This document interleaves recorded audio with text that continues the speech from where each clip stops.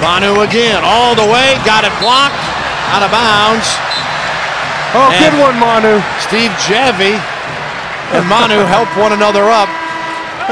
Even though Manu probably wishes he'd have just pushed him down. And so do half the fans around the NBA.